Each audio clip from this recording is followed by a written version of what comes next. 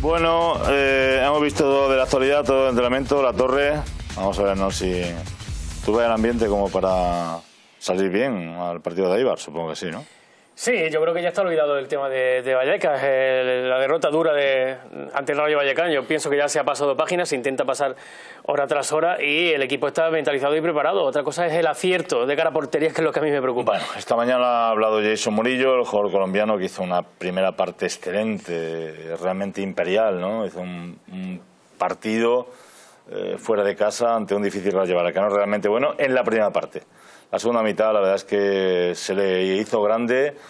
Cometió errores, pero eso no significa que el jugador no sea un fenomenal jugador. Yo creo que se ha metido en algún charco que le ha sobrado, pero ha sido a pregunta, es decir, no se ha inventado él los argumentos. Vamos a escuchar en definitiva lo que ha dicho el defensa colombiano, que la próxima temporada jugará en el Inter de Milán. Bueno, ahora pues obviamente esa semana me, va a servir mucho en cuanto a lo físico, a mejorar. Se notó obviamente de que, de que me, ha costado un poco adaptarme en cuanto a lo físico en el partido. Eh, un momento en que, obviamente se me sentía agotado, pero, pero bueno, esperemos de que esta semana se mejore ese, ese tono y esperemos ir para, para, más. Sí, claro, ese tema es, un, es una cosa pendiente, yo creo que se tiene que mejorar, ya no, no queda tiempo para respirar. Eh, toca tomar medidas sobre el caso, sobre este tema de, venirnos abajo, pero, pero bueno, esperemos de que ese partido sea todo lo contrario y, y podamos hacer las cosas bien. El compromiso que, que, tengo con este club es muy grande, yo creo que este club me ha brindado la, la puerta, la mano para, para yo estar donde, donde estoy y ser quien soy, ¿no? Eh, le agradezco muchísimo al club y a los que siempre han creído, ¿no? Las personas que, que a lo mejor... Eh, dijeron las palabras de que, que, a lo mejor me limpiaba la mano, como lo acabas de decir, yo creo que estaban equivocadas. Eh, yo voy a dar el todo por el todo hasta que vista esa camisa y, espero trabajar para, para ello. No, vamos a ver un partido que el Granada va a ir con toda, tenemos que pensar en nosotros, eh, buscar siempre atacar porque lo necesitamos, necesitamos una victoria y más que es en casa. No, no, no, rabia no, yo creo que hay que ser profesional, ¿no? Eh, oídos sordos a las personas que, siempre tiraron sátiras a, a que yo no, no estaba comprometido mi, deber es trabajar y vestir la camiseta y sudarla hasta que hasta que la, la ponga. No, lo que se ha visto durante toda la temporada es un equipo que, que, es luchador, es un equipo que, es peleón, que, siempre te complica los partidos y, esperamos de que, de que pensemos solo en nosotros, hacer las cosas bien para que, nos salga resultado. Agradecerles por, por apoyar, por el apoyo. Eh, yo creo que eso es importante en la situación en la que estamos. Esperemos de que, de que este sábado estén con nosotros de nuevo y, y podemos sacar resultado que es lo que quieren ellos y queremos nosotros una afición de la que solamente se acuerdan cuando se desplaza a los, a los partidos, no se acuerdan de decir que ha sido traspasado el futbolista al Inter de Milán. Eso no se le dice, nos tenemos que enterar por la pirenaica de que se produce ese tipo de cosas, ¿no? Es absolutamente lamentable. Asuntos que ocurren, que siguen ocurriendo en este club. Bueno, aparte de eso, no hay más asuntos de actualidad, la torre. Ya para cerrar, definitivamente. Bueno, don Diego, tú me estás diciendo o tú defiendes que Abel Resino no estuvo muy feliz en Vallecas. Lo mismo que otras veces le hemos alabado y hemos dicho que el hombre ha, resultado con un planteamiento bueno para el Granada.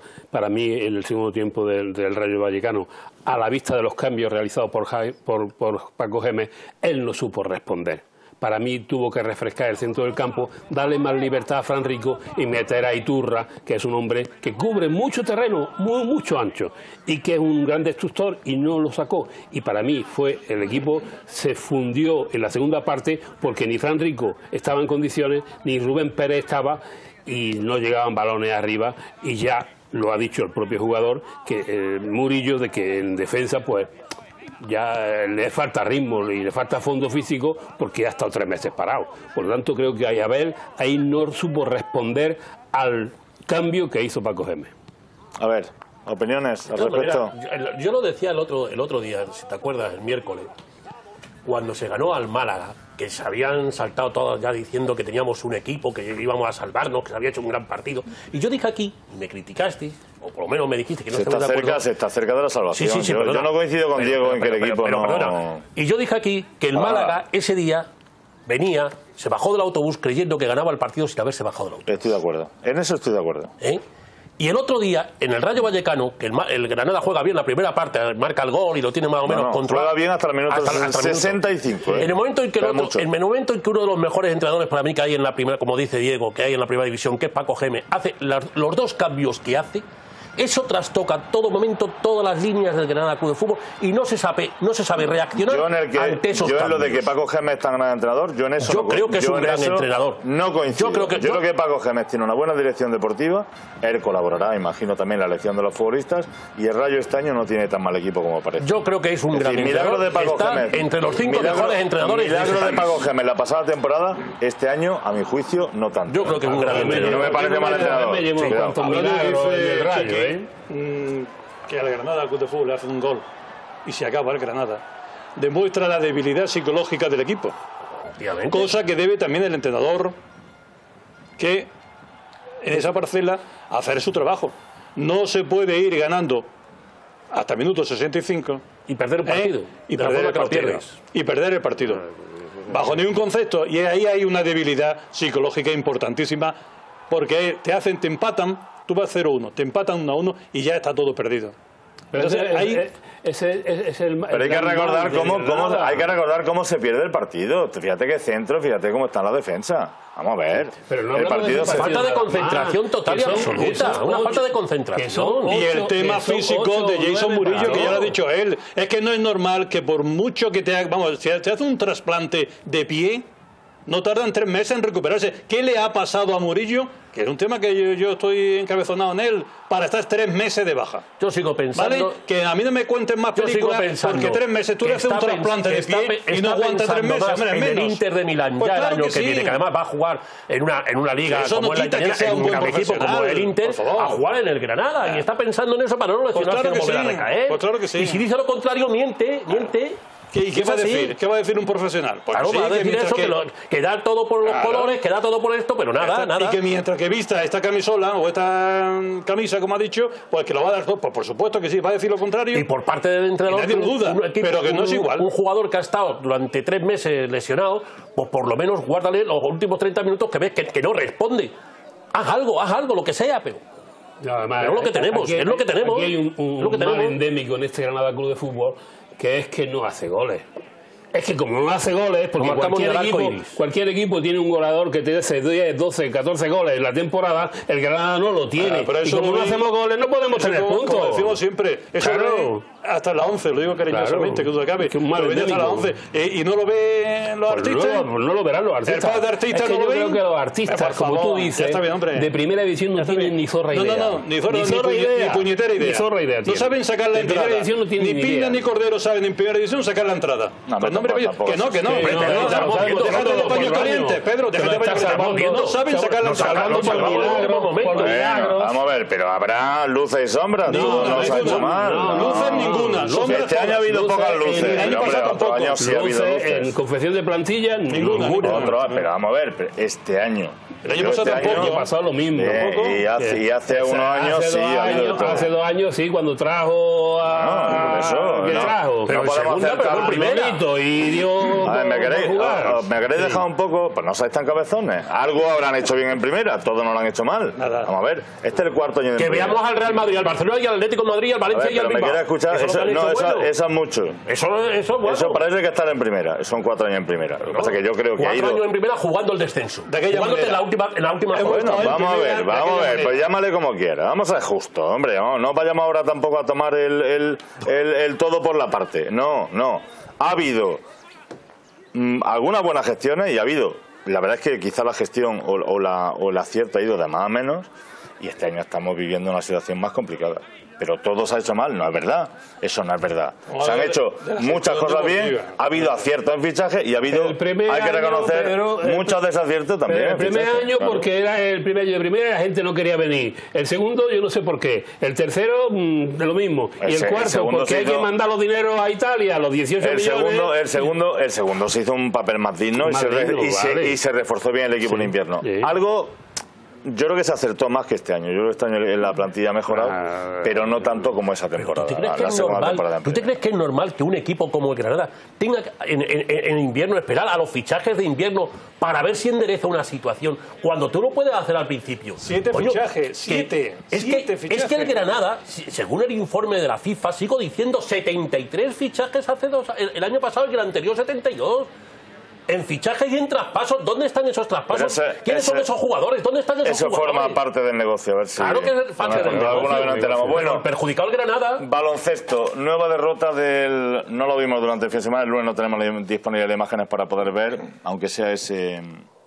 Esa película de una nueva derrota, un Sí. equipo se está complicando mucho la vida. Sí, ¿no? sí, cayó en Badajoz y ojo que, que ahora se está complicando mucho ser el primero. El próximo partido es importantísimo ante el líder Coaín. Sí. Bueno, eh, yo creo que ver las imágenes de la derrota en Badajoz, eso ya sobra. Ahora hay que mirar al futuro.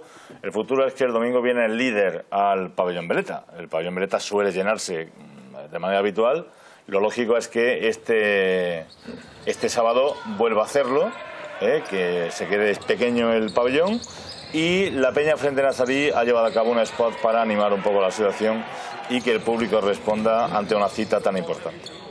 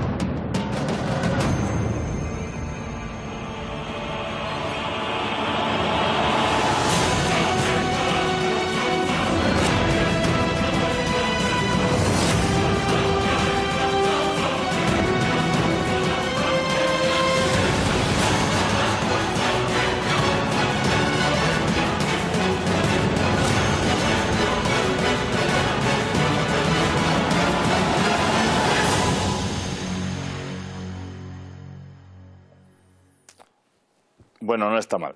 No estaba, no estaba mal para ser un vídeo... No tiene nada que ver de lo bien hecho que está y lo que me ha gustado con los bodrios que ha hecho el Granada de Fútbol. Bueno, ha habido también de todo. No vayamos ahora... Ya estamos con el paño caliente. Pedro Lara, Ah, pero no, déjate de paño pero caliente. vamos a ver, a, a- a un paño, es que me dejáis que ponga un paño caliente a un polo de hielo, porque es que lo, lo ponéis todo ya en La en- realidad. en, en la, en la Antártida o en el polo norte. A ver. Le van a dar el Oscar a... Eh, carrera de montaña, la torre, Sí, ¿cómo llamamos eso? Eh, la tercera edición del circuito de carrera de montaña que va a comenzar el próximo fin de semana.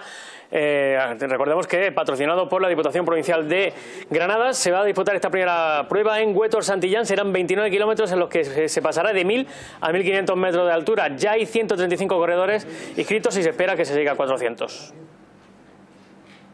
Vamos a tocar prácticamente la geografía granadina, las principales eh, zonas de montaña y vamos a hacer una, un, gran, eh, una gran propaganda de, de todos estos pueblos. Creo que es una prueba muy acertada. De hecho, este año casi hay el doble de participantes que el año pasado.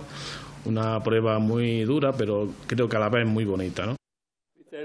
Muy bien, por cierto, la torre, ¿cómo tenemos Sierra Nevada para de cara a la Semana Santa? ¿Sabemos algo? Bueno, yo creo que ahora con el, con el repunte de- del tiempo más frío, con la lluvia y tal que estamos teniendo, lo mismo hay buenas, buenas perspectivas. ¿eh? No, hombre, la de Sierra Ahí estamos viendo imágenes del, nieve. pa- del pasado fin de semana, ¿eh? una prueba del. Campeonato de Andalucía de esquí alpino infantil. Esquiable hasta final de mayo. Lo que pasa es que la estación se cierra el 3 de mayo, pero esquiable, nieve esquiable en, en Sierra Nevada, hasta final de mayo tienes fijo. Ya tenemos la mejor estación de España. Por supuesto, por supuesto. Lo que pasa es que cuando llega Semana Santa la gente ya cambia el chip y piensa más en la la playa. playa que en pensar en la sierra. Pero hay nieve en mayo en la sierra, apartarse. Muy bien, gracias a todos, hemos terminado por hoy. Sí. yo me, me- me gustaría mandar desde aquí un abrazo muy fuerte a la familia de, de Luis López, el maestro. Claro que sí, que falleció este pasado fin de semana. Muchísimas gracias a todos, amigos, amigas y amigos. Mañana seguimos con más cosas. Buenas noches.